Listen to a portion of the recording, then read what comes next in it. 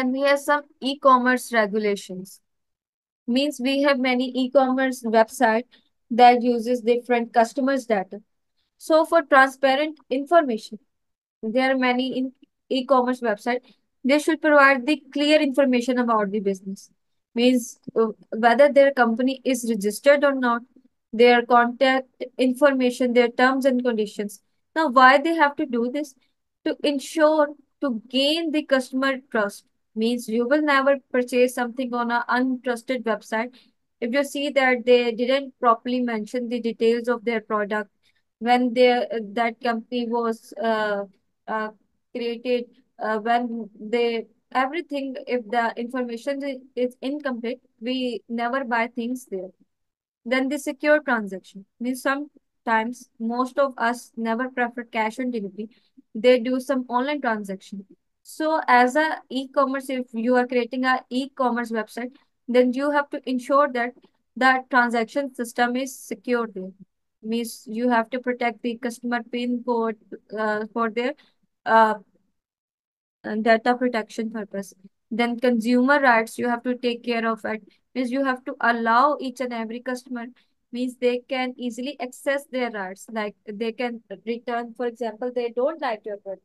So you have to provide an option that they can return and you have to refund them back whatever the amount they have paid for that certain product. Then we have some laws for advertising standards. Okay.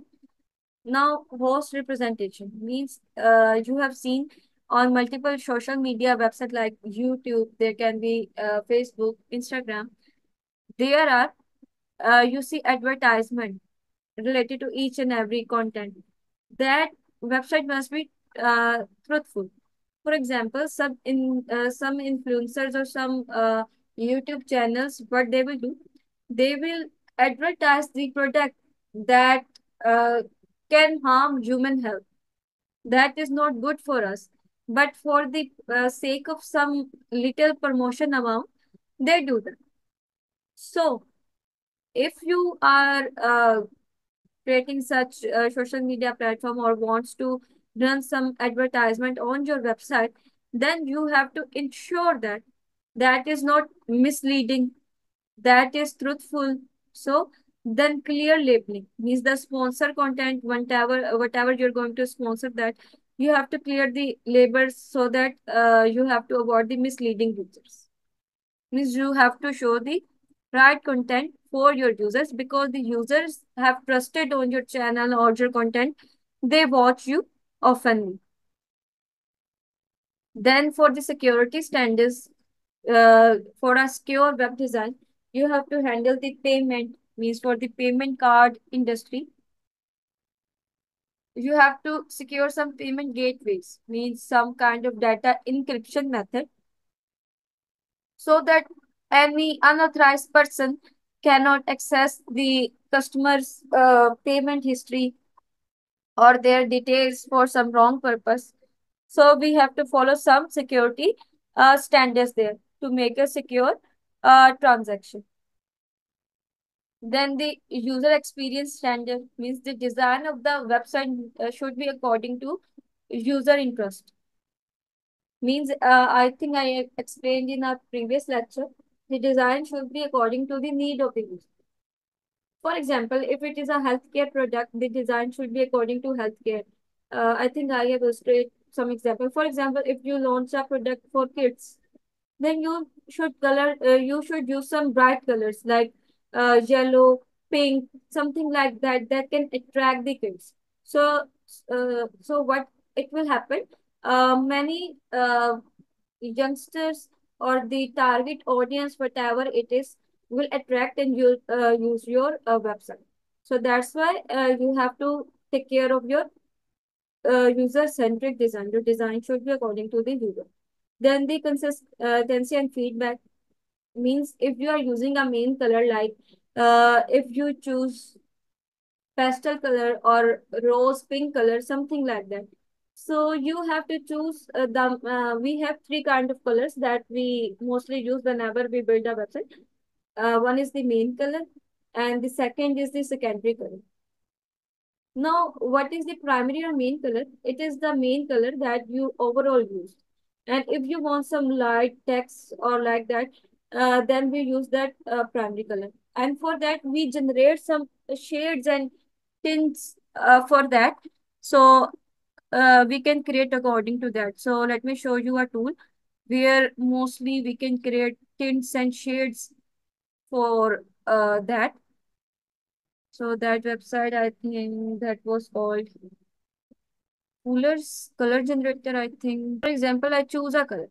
Like my color that I'm going to choose a website is blue. So I will also show you uh, a website where you can choose different colors. Like because we are going to start uh, with, I think we have started with HTML. Now the next step will be our CSS.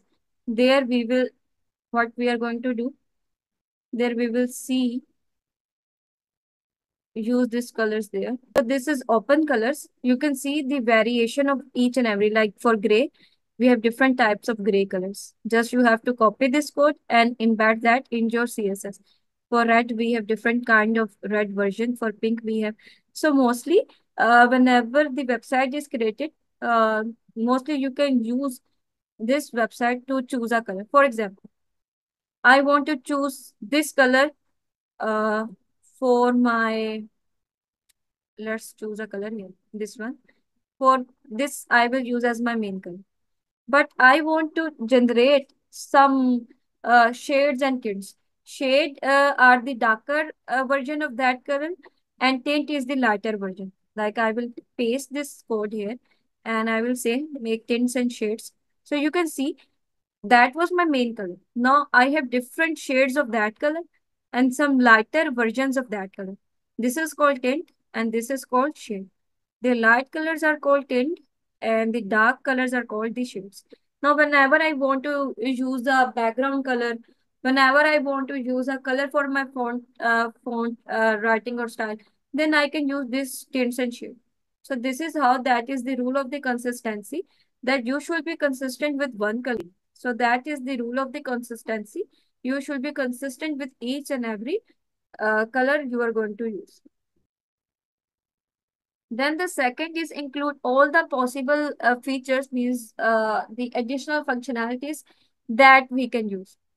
Now, first one is the interactive form, means the dynamic validation. Sometimes you have seen that uh, you have input the data, it will validate automatically, means if the email is in the right format, the password is strength or not. Whenever, uh, for example, you sign up for different website there, and they ask uh, you to uh, after creating a any account uh, to set up password. So there in the password, they will uh, with real time they told you this is weak one, this is the strong one, uh, this is the poor one. So change you change it accordingly. That is the dynamic validation. So this is a kind of interactive form. Then autocomplete. Like the address and the search bar, for example, if you fill that forms uh, like uh, for the second or third time, uh, you click on the input field, uh, your phone number will already highlighted there. And if you click that, it will auto-complete that. So that are then the conditional fields mean for showing the field basis on the user input. So this can be an additional feature uh, that you can add in your functionality. Then the question is how we can implement these things. For implementations, we use the JavaScript. Uh, JavaScript is the library that, uh, sorry, the language that is used to uh, make our website interactive. Like we click on uh, um, at some place, then any action will be performed. Now we have libraries like jQuery for making that dynamic interaction. I told you that uh, we are not going to use any platform. Just we will use simple languages. I think in our last lecture, I uh, I think you was uh, absent. I had created a simple web page just with the use of HTML. Then with the uh, okay, you was absent. Now I show you uh, a web page later. Uh, let me complete this theoretical portion. Then I will show you. I think some of the students was present. We created uh, a web page with the help of HTML only. I teach some of the tags, uh, some of the how we can add an image to our web page. I teach everything there. Uh, no problem. Uh, I have provided this recorded uh, lectures. You can go through that. Still, if you have any confusion, you can let me know. Then, moreover, we will create more web pages like that. Then for adding the, uh, we can also use some HTML attributes like required for the basic validation. We will see this one by one. Then to make the responsive design is another element that you want to see means it will adjust each and every screen size. Means if you are using a mobile phone, your website should be uh, adjust according to the uh, mobile phone. And if you are using that on a desktop application, means on the laptop or, or on your computer systems, then it should adjust accordingly. So that is responsive design. So we will take care of that also without using any builder. Just by using simple HTML, CSS, we will make it responsive.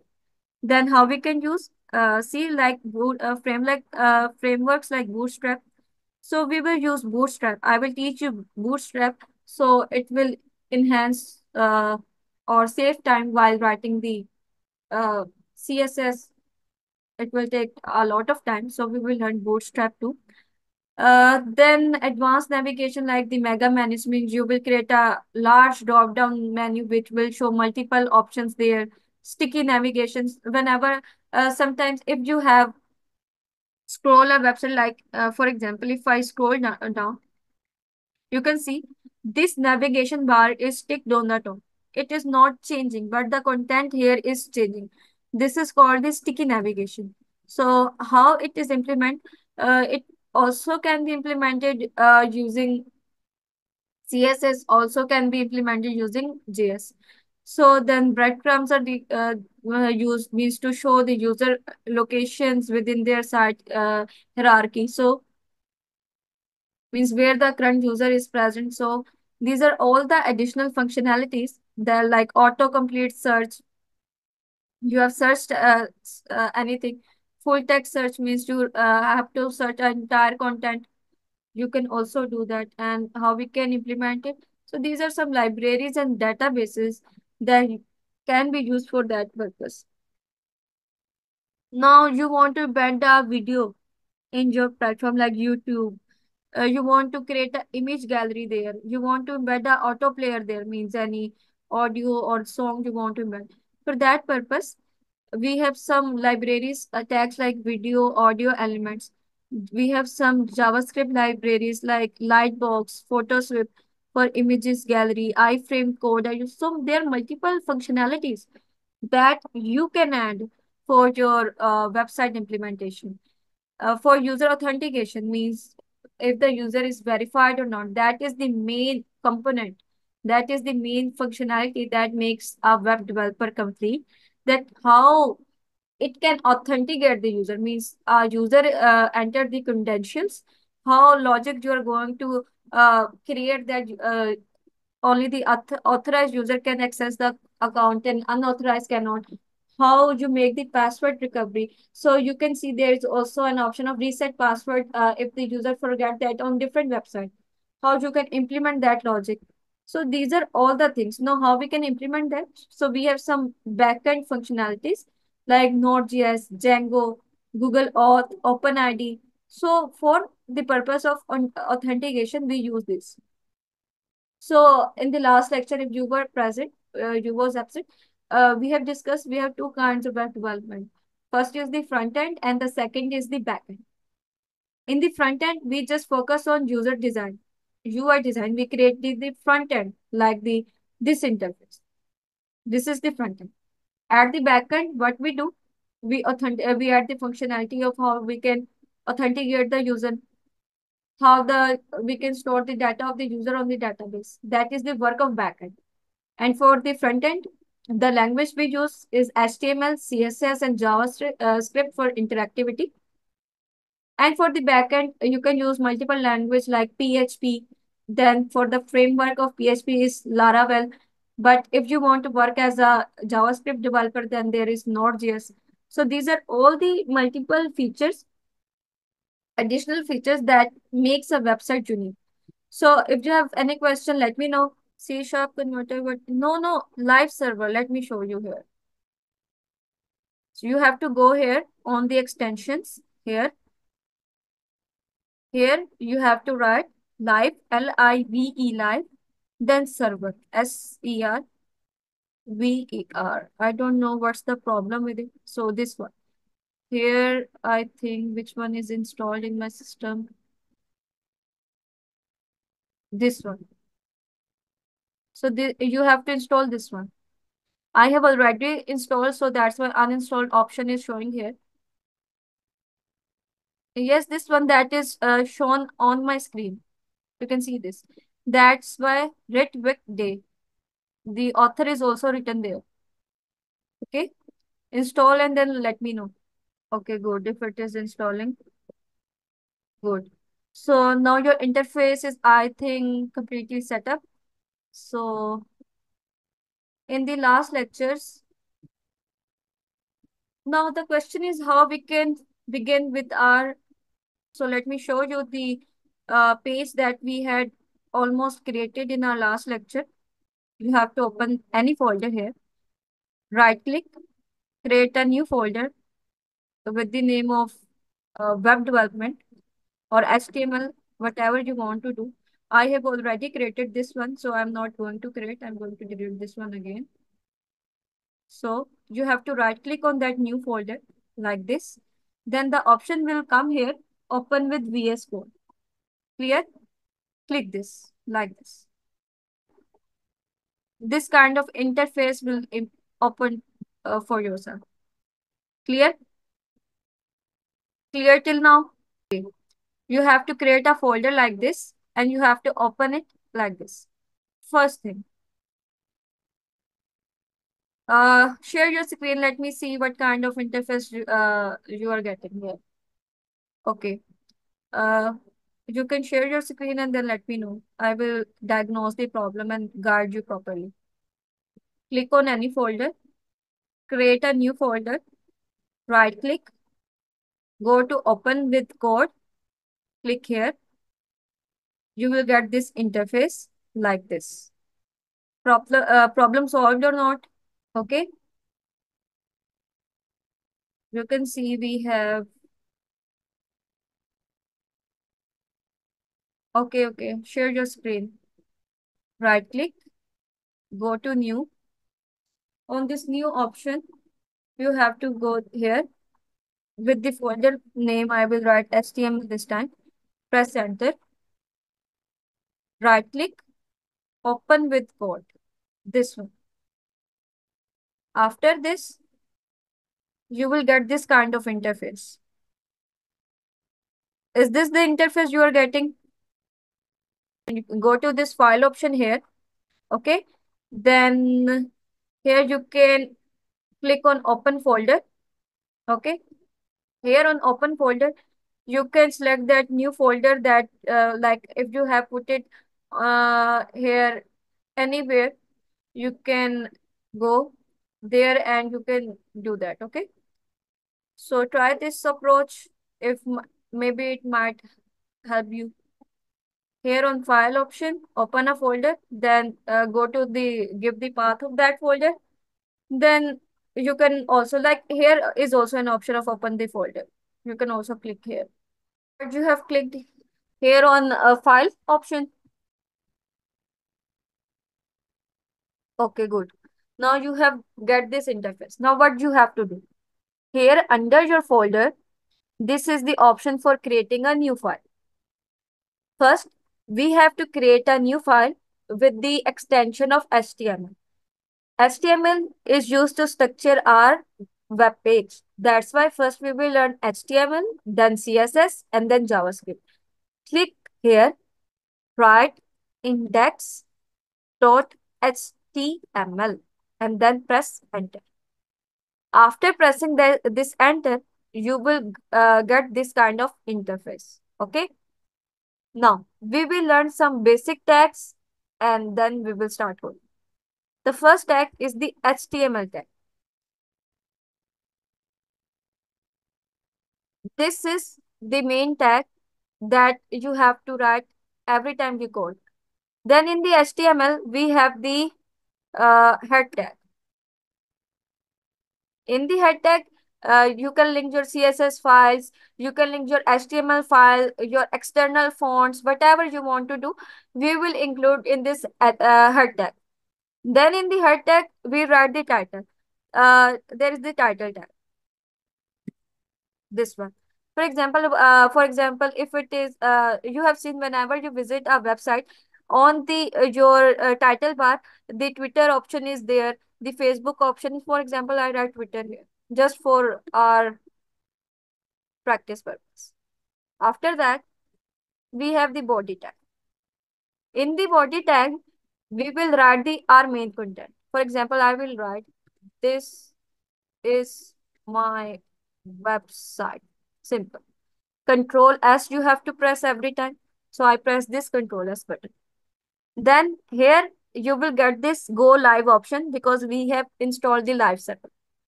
What this live server will do, it will take us to the local server, means to the Google uh, on the local server where our website is uh, created. So we are going to start our live server here. So just in a moment, we will see our first web page. So I think it is taking some time to reload.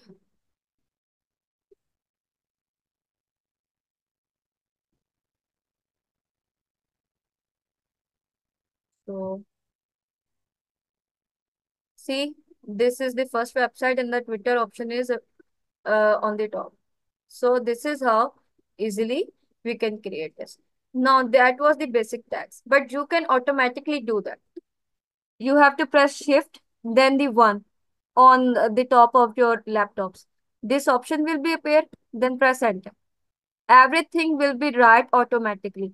You don't need to write this head tag itself. Just here, you will just change the name of your uh, website, uh, whatever it is, a brand website, whatever it is, anything. I will give this name my website. Then here in the body tag, you can write any your content. Now for creating a dummy text like this, what you have to do, you have to write lorem, L-O-R-U-M. Then for example, I want 50 words. I will write 50, then press enter. I think I have written the wrong spellings. Lorem, R-E-M, and then 50 press enter. So in this way, you can create the dummy text, then control S. Don't forget to save your page. If you don't save your page, you cannot see the uh, edited content or uh, whatever you have created there. So now you can see instead of Twitter, I have uh, here my website and this content is appeared on my this. So that was, so I'm hoping that your Visual Studio interface is set it and uh, I have uh, teach you this basic tags. If you have any questions right now related to the setup, related to this basic tags, let me know. Yes, on this here, here on the live server option, go live. Go live is written, just click here. Then we will get this. Have you tried this? If you don't want to, uh, for example, if you want to reload that, then we will close this again, then press this again. And if you want to run, then here uh, is uh, okay. If it is working, then good. So that was the basic page that we created. Uh, on the uh, this is not the real server. This is the local server. You can see that this is the local server for the practice. After at the end, we created uh, our website on the local server. Then there are some techniques that we uh, transfer our website to the main server. So we learned that that's the thing that we later uh, study.